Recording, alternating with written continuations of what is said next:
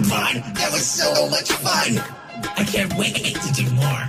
Though, I wonder who's next.